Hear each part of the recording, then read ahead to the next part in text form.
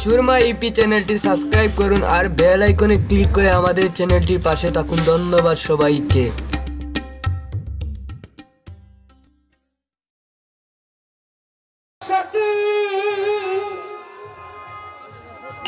আমার